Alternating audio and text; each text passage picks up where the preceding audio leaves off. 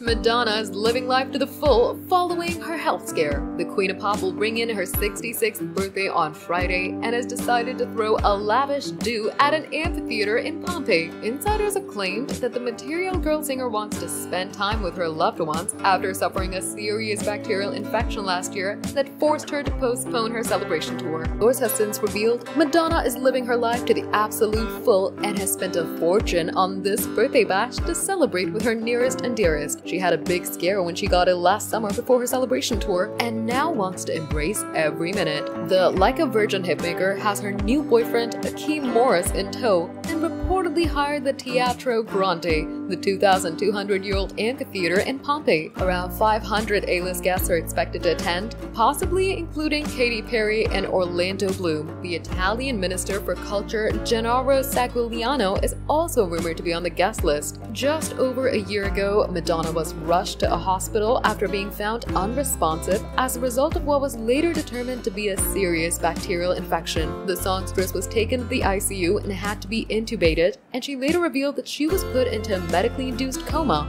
Despite the near death experience, Madonna remained defiant. Uh.